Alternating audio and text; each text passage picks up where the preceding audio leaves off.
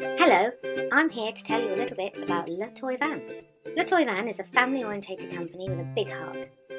In the mid 1990s, our founder, Georges, made his first wooden doll's house by hand in his garden shed, and not long after that, Le Toy Van was created.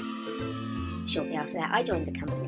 My name is Sophie, and now, 25 years later, our toys are still designed in London and ethically made with love. As a wooden toy company, we love wood it's 100% natural, supremely tactile, eco friendly, safe, and long lasting. We only ever use sustainable wood in our toys, using repurposed rubber wood trees decorated with non toxic, water based paints to ensure they're safe for your children and kind to the environment.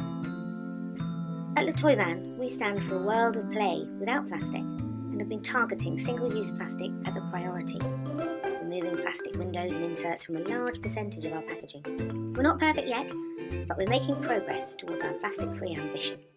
We're passionate about play and believe toys should be fun.